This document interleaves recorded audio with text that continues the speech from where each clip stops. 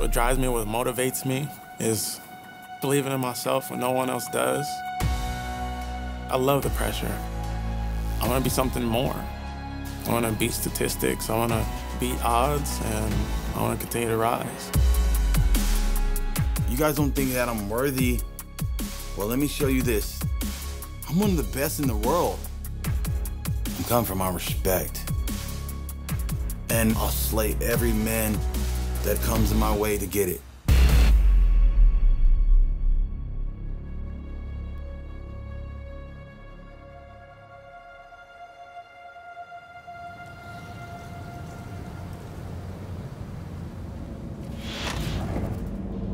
Man, so exhausted. Feel kind of burnt out. But again, it's like I always tell people, forget how you feel. You know, it doesn't matter how you feel. I don't try to worry about my feelings. Whatever it calls to get done, whatever it takes is whatever it takes. I tell people I'm either absolutely crazy, I'm really fucking strong. One of the two, or maybe a bit of both. Even with this camp, it's the fifth one of this year, five fights in a year. Nobody's doing this. At this level, at this age, the way I would describe my MMA career, I would describe it as real. Real issues, real life. You don't have to always just be undefeated. You can take losses and bumps and bruises and but get back up and fight again. I'm still a poor kid in my brain, you know? People will tell you you're rich and you got this and that. No, no, I don't forget what that, I, I never forget that. I don't need no flashy cars. I don't need a bunch of stuff.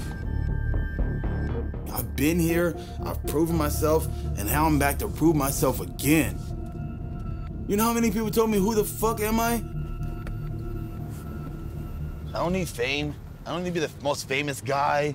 I want to be out there and every time, see me, see me. See me, guys, see me. Nah, nah. I'm getting old and this shit is done and like everybody wants to be famous. I don't need to be that.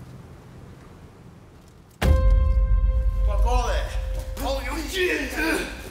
I remember when I first came in, I was ranked number seven in the world.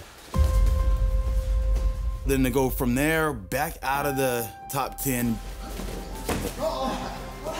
And then to come all the way back to prove to everyone that I'm one of the best in the world.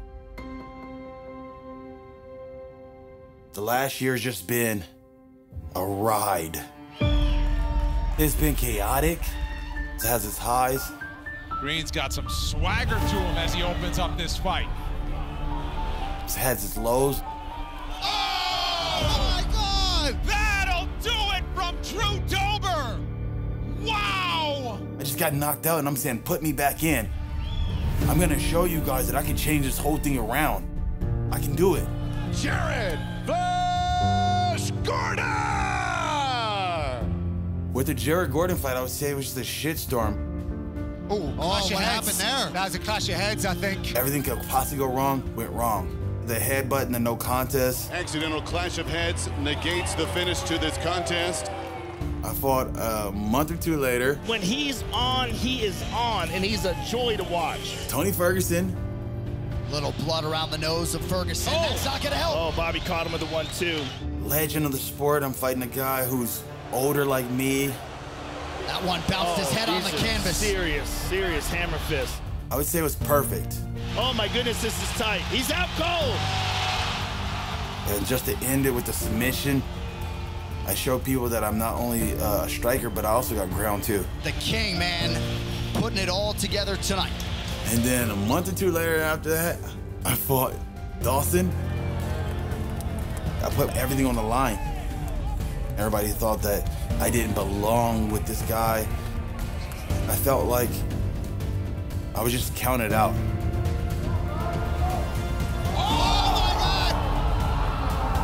It was electrifying. Oh my goodness, Bobby got him!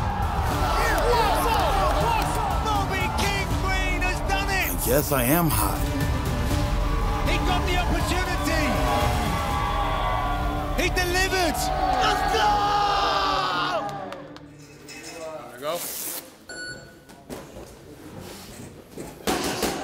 So the line, the line to spar Bobby could start forming over there.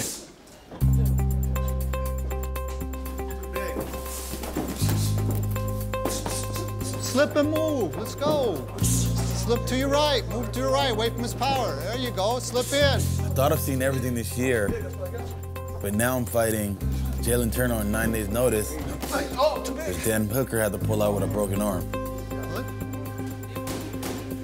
Five fights in 12 months.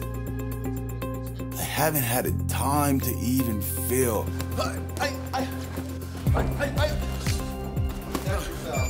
That's the thing about fighting. It's so unpredictable. Don't be there.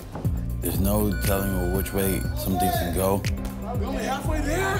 Except Jacob. We're only halfway there. The challenge of taking an opponent on short notice is not having enough time to prepare for their style. Now you have to kind of switch things around a little bit. Watch your jab. I knew it. Turner's long, lanky, aggressive. Trying to kill me. They're trying to kill me. strategic, Don't let you touch him. gutsy. There you go. Too far back. Yeah, let him know. I expect full out war. I expect him to take some and give some. I'm just making music. I'm just making poetry. You got two guys that are are bangers. And may the last man standing win. No, come here. Let's be friends today. His exoskeleton is still super, super soft. So I'm gonna be extra careful with him. My nickname is the Tarantula. I ended up having a fear of tarantulas at some point in my life. I got one as a pet to like overcome the fear, and it turned into a vast collection. This one just molted yesterday. When I started training at the gym, everybody was thinking of nicknames for me. I said, the tarantula. That sounds cool. And it was original. I love original names. Anderson Silva was my favorite fighter growing up, and he was already the spider, so I wasn't gonna bite off his name.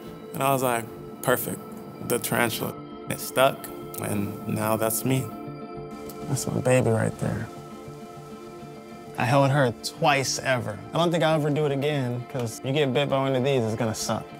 I love organized chaos. That's how it all works. That's how I make my animals work, my career path work. I just thrive in things that are unusual. And this is my California king snake. I call her Dice. She's black and white.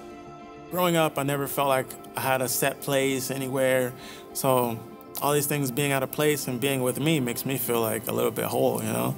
That's how I like life. Organized chaos. She doesn't know it's feeding time yet, but when I drop a mouse in there, she'll know what time it is.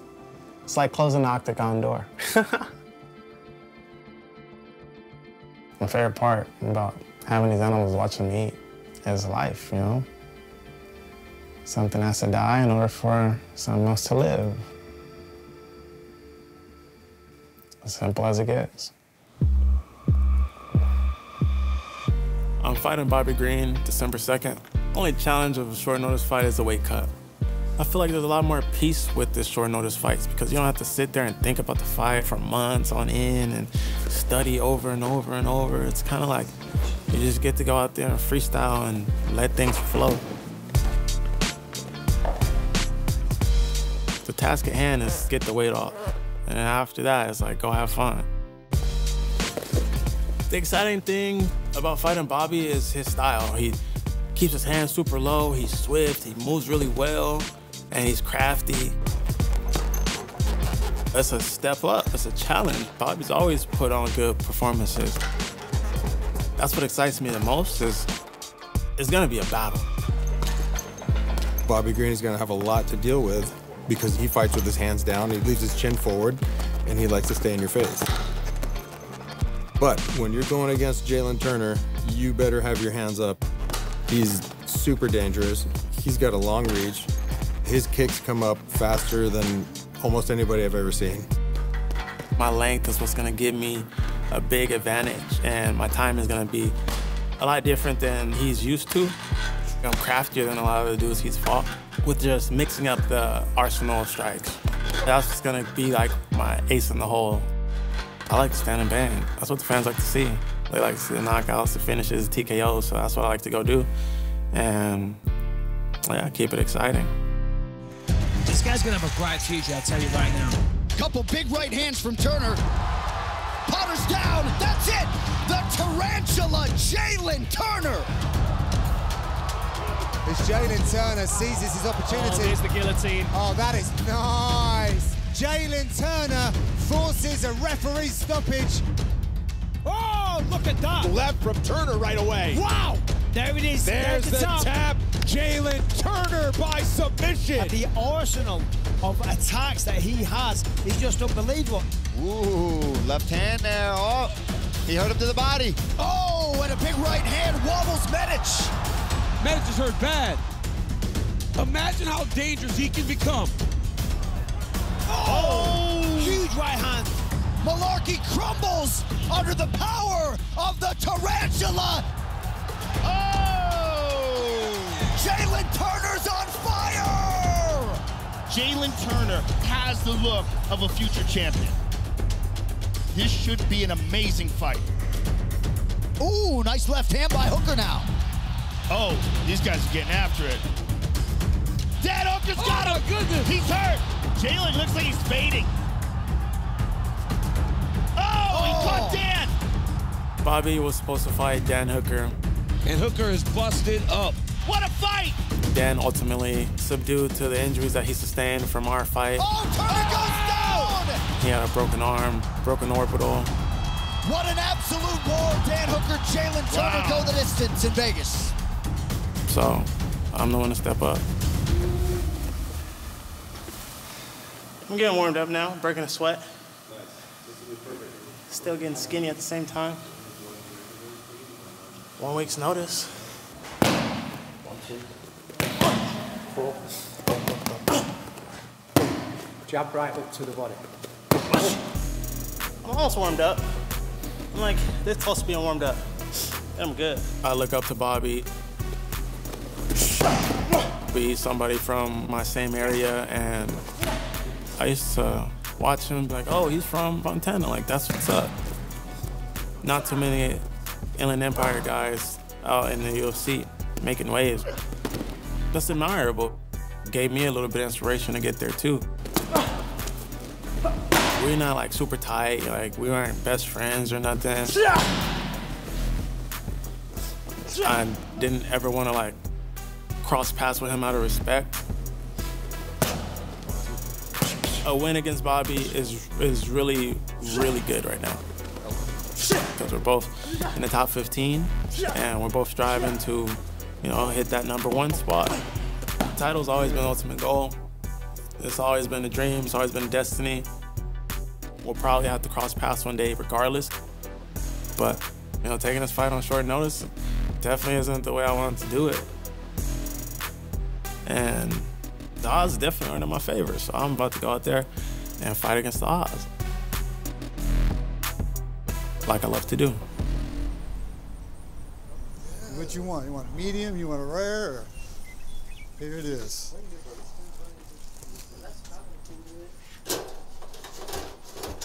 Leadership is is a real tricky one because nobody wants to listen to a leader who ain't been through it. Just marinate that shit and cook it up. Yeah. What you want? You want a medium? Sam Mason is my head coach, and so much more. But I don't know nothing about barbecue, and I feel like that come with a daddy. A man things like, hey, are you turning meat? Don't lead the meat, you know what I mean? A man tell you how to do a barbecue. Girls ain't messing with barbecue, bitch, you know? He just understands life and understands uh, me when everything's chaotic.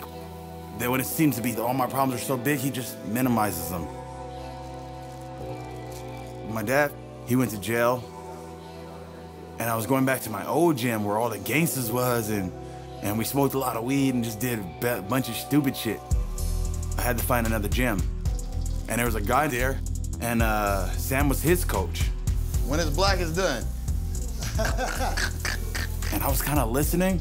I was kind of ear hustling, just listening to what Sam was saying, and everything just sounded really good what he was saying. And so I was like, man, I gotta get around guys like that. I met him about 14 years ago. We were at a gym that was close to his house, and Bobby just happened to be at that gym. And so he said, Hey, I got a fight coming up. Could you help me? And we got to talking. It's the last day I could have meat before I really shut it down and, and start really hard dieting. Took a little bit to come together. Because Bobby's the type of guy, do, do, he doesn't like something, he's gone. See ya. I mean, he's been in, he's been in, in and out of what 20, 25 foster homes. I felt like I was gonna be done with fighting. Oh, gee. I just graduated from electrician school, so in my head I was thinking, I'm just gonna go be an electrician. And Sam's like, you can go all the way. You know what I'm saying? You could be big time. Mm-hmm. Mm-hmm. If Sam wasn't here, I'd probably be an electrician. I didn't know how I became the grill master. Yeah, you just came over here and started doing it. He has a lot of different sides to Bobby. He has a big heart. I mean, he'll give the shirt literally off his back, which I've seen him do. Hey, I like that shirt. Oh, you do? And give it to somebody.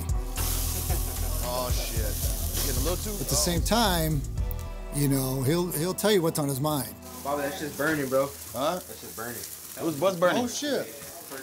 You know, this guy. Are you sure? Duh. I always told him like I want to take the big stage to honor you. I feel like he's been in this game for so long, and I don't know if anybody's given him the, the true credit he deserves. Not just in the cage, but outside the cage too. okay, okay. You kind of break it up some so it's not just all serious. Oh, you want to learn how to fight? Go get in a fight. It's a fellowship day. You want to kind of bond with your guys. You want to get to know them off the mats, you know? You actually know them and, and build that bond. I feel like I'm at a Last Supper. Like you're gonna get your last before you're gonna get the electrical chair. So I need to get everything I possibly can in before I get this to the chair. My fighting style is in your face, it's street, it's raw, it's it's it, it's the hood. Two. And up jab. There we go. I'm bringing the streets Two. to the UFC. This is how we used to fight in San Bernardino. This is how we used to fight in Fontana. Yeah, keep it tight. Here we go. He has a very awkward style. Bobby could do things that are pretty much, you don't do those things in a fight, but he could do them and, and win with them. The statement I'm looking to make with Jalin Turner is Two up jab, one out. he doesn't belong with me. I'm faster. Good. I'm slicker. Ah, one more.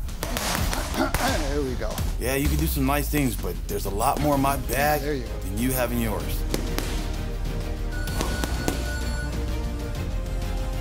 Hmm. I'm just gonna teach him that grit he has. It's a whole nother level to it. And I'm that guy to show you true grit. Like I said it last fight, I'm in sniper range of the title. Now we're a little closer than sniper range. I'm getting on the heels of some of those guys. Gonna get real interesting. My journey's been a roller coaster. I've been through it all. I never gave up the vision of being something great. I always stepped up, persevering through everything that I went through. I had no option. At the end of the day, it's them or me.